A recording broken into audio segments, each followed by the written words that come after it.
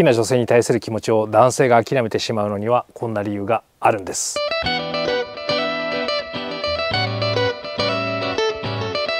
こんにちは小川健二です。このチャンネルでは人間の思考や行動の本質にフォーカスすることで恋愛や仕事などあなたの日常をより豊かにしていくためのアイデアやヒントを紹介しています。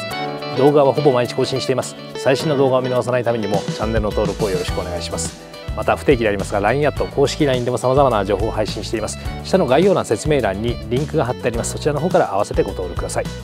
男性がこれまで好きだった女性に対しての気持ちが冷めるわけではないんだけどももうこれはしょうがないよねということで諦めてしまう時があるんです。どんな時にその好きな気持ちを諦めてしまうのか、えその理由今日は代表的なものを7つご紹介をしていこうと思います、え彼がねどういうふうに思うかはあんまり関係なくて、え彼の気持ちよりもあなた自身の気持ちをね優先して自分軸をどう整えばいいのかという話についてはこういうセミナーなんかでもねご紹介をさせていただいています。まあこれは目標設定するという、まあ、自分軸をね整えるためのセミナーで、え日程場所下の概要欄説明欄にリンクが出ています。こちらにも同様のリンク出ていますのでこちらから日程場所をご確認いただいて直近だと大阪、えそして福岡にお邪魔する予定なので、まあ、大阪福岡あたりの方はねぜひこちらにお越しいただければいいんだが、まあ、今日は日頃の関わりの中でね彼がこれまではあなたに対して熱心な気持ちをね伝えてきてくれたし、まあ、そういうアプローチもありましたと。しかし最近そういうこと全くないな。なんかどうやら私のことを諦めてしまったのかなと思う時になぜそうなってしまったのかというね理由、えー、代表的なものをご紹介していこうと思います、えー、もちろんここでご紹介差し上げる話全てのケースに当てはまるかというとそういうことでもないので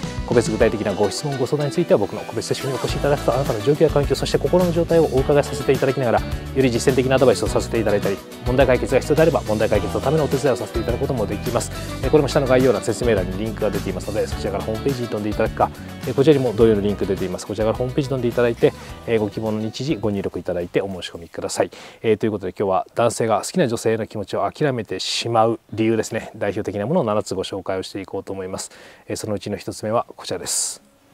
はい。えー、壁が高すぎることを実感した時ですよね。まあこれは男の人も女の人もそうだと思いますけどね、えー、どんなにアプローチをしても全くびくともしないと、まあ、それっぽい態度は見せてくれるんだけどでも実際のところね全然こう壁を乗り越える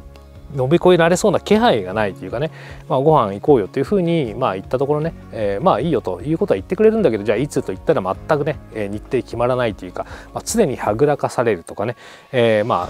あなんだろうねこう社交辞令的に可愛いねとかね好きだよというふうに言ったとしてももう全然ツンとしてね相手もしてもらえないとか、まあ、本当にね事務的な会話しかもう対応してもらえませんとかね、えー、連絡しても全くね、えー、まあ返事がないというか、返事があってもこれまた事務的なレスポンスみたいなさ、まあ、そんなやり取りされてればあなたの方にねいや私全然そういうつもりがないよ。私は全然ね壁乗り越えてきてほしいよっていうふうに、まあ、思っていたとしても彼がそういうふうに思ってしまってる以上あもう壁が高いんだこれは。もう無理だ俺乗り越えられない。残念です。ごめんなさい。諦めます。ということに、まあ、なってしまうのはそれは仕方ないよね。それはあなたもね同様のケースあると思うんですよね。彼は別にそんな壁を作ってるつもりはないんだけどあなたから見た時にあちょっとこの人ね壁が高いし厚いし乗り越えられないなと思ったらもうちょっとまあしょうがないかなっていうふうに、まあ、思ってしまうことがあるように男もそういうふうに思うことがある、まあ、だからこそあなたの方からね、えー、まあ彼の気持ちをねこっちに向けたいな、まあ、向いてくれてる気持ちをねそのまま持続してほしいなと思うのであれば、まあ、壁の高さをね下げてあげるというか、まあ、低く見せてあげるというか、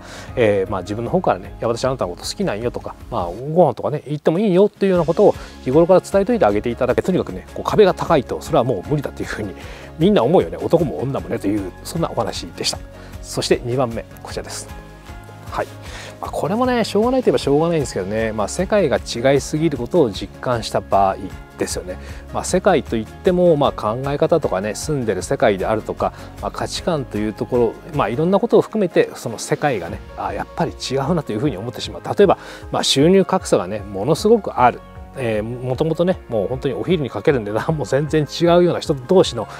生活ってさやっぱり生活そのものが違うから、まあ、ちょっと無理かなって思うところがあるかもしれないし、まあ、仕事に対する考え方っていうのはね全く違うなもう全くそこに関しては一致できないよねっていうふうに思うことなのかもわからんしまあそれこそ何でしょうね、えーまあ、右か左かみたいなね、えー、いわゆるこう思想信条みたいなさそういうところが圧倒的に違いがありすぎて日頃話をしてると喧嘩にしかならないとかね、まあ、そこまでになっちゃうと歩み寄る余地があんまりないよねと、まあ、いうことであれば、まあ、そこはちょっと残念だけどという話になってしまうし、まあ、彼も最初は好きだったけど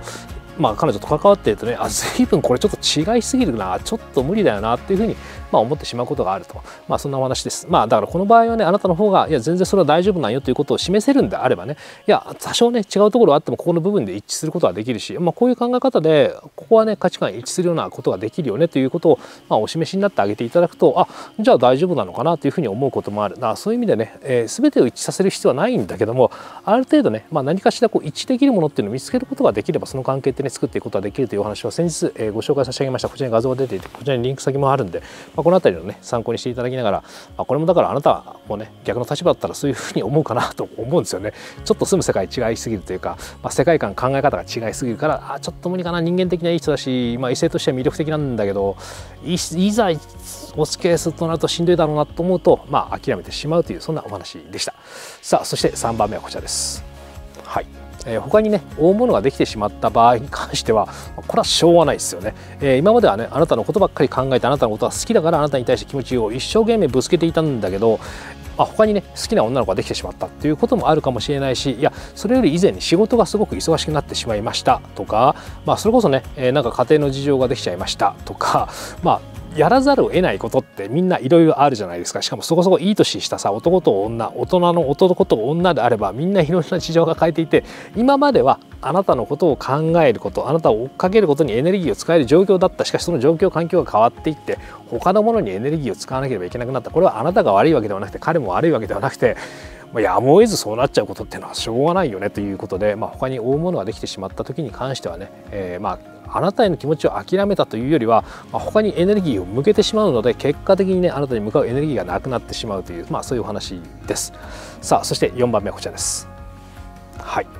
まあ、他の男性のね存在があると、まあ、それだけで男の人はちょっと、うん、まあ無理かなっていうふうに思ってしまうことはそれはあります。え特にまあいい年した大人の男であるならばまああんまりそこでね妙なリスクを負いた、えー、背負いたくなかったりとかそこであんまりこう誰かと競争させられたりとか、まあ、そういうこともちょっと疲れたりするよねと。あ何？他に好きな男性おったりするの？じゃあ俺その人と比較してどうかっていうことを考えると、まあ、俺の方がちょっと負けそうだし、まあ、ちょっと無理だし、まあ、ちょっと勝てそうな感じもするけどでもまあ競争とかももういろいろ面倒くさいからいいかなっていうふうにまあ思ってしまうことがあるしあ何？もう旦那さんおるんだ。じゃあちょっと俺はもう無理かなっていうふうにまあ思ってしまうこともあったりする。これはさもうしょうがないね。今までは別にあなたにね他の男の存在を知らなかったからあなたにそういう人がいるっていうことはねまあ一生懸命熱心だったけど、まあ、そうなってしまうとまあそれを知ってしまうとねじゃあちょっとそれはもう無理かなっていうふうに諦めざるを得ないしまあ諦めるのがまあ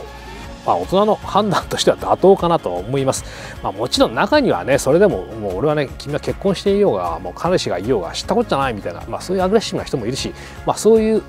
アグレッシブに男をさせる女の女の人もいたりするからね、まあ、そういうケースも稀にはあるんだけどこういう話でご紹介させていただいたことありますねこちらに画像があってこちらにリンク先もあるので、まあ、こういうケースはこういうケースであったとしても、まあ、基本的にはやっぱり男の人っていうのは他の男の存在があったりすると、まあ、それだけでまあちょっとやめとこうというふうにまあ思ってしまいますよね。だからこれは別にあなたが悪いわけでもないし、えー、まあ彼が悪いわけでもないんだけどまあそういうもんだよねっていうそんなお話です。さあそして5番目はこちらです。はい。えー、社会的な立場上諦めざるを得ないということもあります。えー、まあ、さっきね、えー、まあ他に大物ができてしまった状況環境が変わっていくっていうお話も差し上げたんですけど、まあ、それと同じようにやっぱり今あなたのことを好きではいるんだけどでも好きになってその気持ちをあなたにぶつけていい立場にいるのかって言ったら残念ながらそうじゃないことってありますよね。それはあなたと彼がまあ取引先の関係にあるとか、えー、まあ上司部下の関係にあるとかね、まあ、さっきの話じゃないけど一方が既婚者であるとかまあ、あなたのことが好きだしあなたに気持ちをぶつけたいな、まあ、そういう思いを持ちっていたいな。そしてやがてねそのお互いの立場が変わっていった時にあなたに対してよりね、えー、真剣なアプローチをしたいなと思ってるんだけどまあなかなかその立場変わらないし結局これってどうにもならないよね。まあやっぱり気持ち悪いけどこれはしょうがないかというふうに、まあ、大人の判断で、まあ、止めてしまうことというか、まあ、諦めざるを得ないというふうに、まあ、なってしまうこともある、えーまあ、なのでこれは今言ったようにね状況環境が変わっていくことによってねまた気持ちがねまた前向きになっていくこともあったりするから今はそういうお互いがそういう立場なのであるならばこれもどっちがいいとか悪いとかっていうことではなくて人生全般っていうかさ生活全般で考えた時に、まあ、それぞれが思う思うそれぞれが背負うそのリスク等々を勘案した時に諦めた方が妥当だよねという判断で、まあ、諦めてしまうこともあったりするから、まあ、これはもうね仕方ないのかなというお話でした。さあそして6番目こちらです。はい。まあ、これもあるあるですね、えーと、時間的経済的自由によって諦めざるを得ないということは、えー、あると思います、えー、まあ、あなたとお付き合いするのにやっぱりお金がかかるとかあなたとお付き合いするのに、まあ、時間がかかるとか、まあ、さっきね、えー、他に大物ができたっていう話もあったように、えーまあ、他に大物があるわけじゃないんだけど、まあ、例えばね、まあ、会社で給料下がってしまったとかね、えーまあ、もしくは本当にすごく忙しくなってしまったとか、えーまあ、何かしらねこうお金かけなきゃいけないところっていうのは他に生まれていてそれによってあなたと会う時間とかが取れなくなってしまったとか、まあ、それこそ結婚とか考えたり一緒に住んだりっていうことを考えたりしたいなと思っていたんだけどそういうことはできるような経済的な状況でもないなっていうことで、えー、ちょっと悪いけどっていうふうに思ってしまうことはこれはありますよね。これもだからあなたがいいとか悪いとかっていう話ではなくまた彼がいいとか悪いとかっていう話ではなくて、えーまあ、みんないい年した大人の男と女だからみんないろいろあるんでね、まあ、そのいろいろが、まあ、経済的な問題とか時間的な問題によってねダメになってしまうまあこれは残念なことなのかもしれないけどでもそういうことって現実でやっぱりいっぱいあるので、えー、そこをねあなたがフォローできるんだったらねいや大丈夫。私全然ねあなたがお金なくても私のこと全然フォローできるしとか、えー、2人で合算すれば全然生きていくことできるよね。そんなに豪華な生活できなかったとしてもつつましく生きていく分には全然問題ないじゃないっていうことを言えるんだったら別にねあなたの方がフォローしてあげればいいだけの話だし、えー、彼がねそれでこう思い悩んで、まあ、ちょっとこれはもう無理かなと思って諦めてしまうっていうことはそれ自体はまあ仕方のないことだしあとはそれをねどれぐらいあなたがフォローできるか。いやそういうことで私フォローしたくないしそういうお付き合いしたくないってなったら、まあ、それはお互い残念だけどっていうお話だというだけのことなので、えー、まあねこれはまああなたの側がそうなる場合もあるし、まあ、彼の側がそうなることもあって、まあ、お互いしょうがないお話で、まあ、諦めざるを得ないというお話でした。さあそして最後7番目はこちらです。はい、えー、これちょっと毛色の違う話でね、えー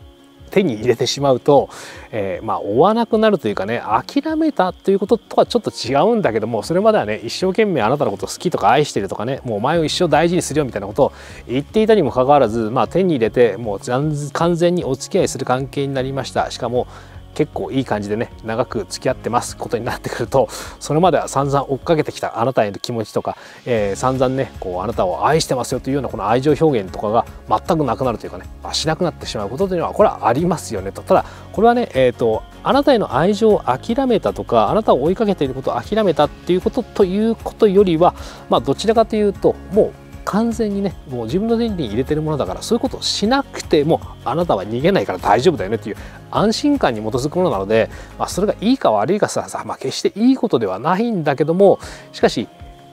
お付き合いする前のような愛情表現をしないからといって彼があなたに対してね愛情が全くなくなったのかとかねあなたのこと好きじゃなくなったのかっていうと、まあ、そうじゃないという話をね、えー、とこれまで、えー、いろんな動画でねご紹介差し上げたので、まあ、この辺り参考にしていただくといいのかなと思います。こちらに画像が出ていてこちらにリンク先もあるんでね、えー、手に入れるといろいろしなくなるんだけど別に諦めてるわけじゃないと。ただ諦められたようにあなたは感じるかもしれないが、まあ、そうじゃないですよねというそんなお話です。えー、ということで全7項目ご紹介をさせていただきました、えー、まあ人の気持ちってどうしてもねあなたもそうだと思うんですけど変わってしまうことはある。しかもその変わってしまう原因はねやっぱり状況とか環境とか、まあ、いろんな要素があってね変わってしまっていくことがある。それはあなたが好きとか嫌いとかあなたがいいとか悪いとか彼がねいいやつだとか悪いやつだということとは違うところが理由でね、まあ、そうなってしまうこともあったりするので、えー、まあ1番目に関してはね多少コミュニケーションで改善していくことはできたりするんだけど、まあ、それ以外のところに関してはさ、まあ、ある意味どうにもならないことではあったりするんだがあとは